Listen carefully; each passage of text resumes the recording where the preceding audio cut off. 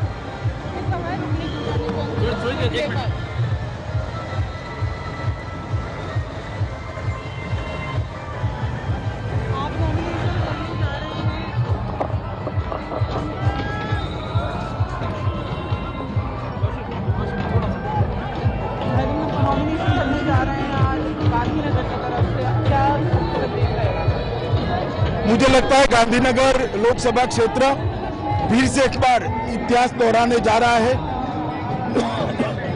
मोदी जी के नेतृत्व में यहाँ से प्रचंड बहुमत के साथ भारतीय जनता पार्टी विजयी बनने जा रही है। गुजरात की 26 की 26 सीट फिर एक बार मोदी जी के नेतृत्व में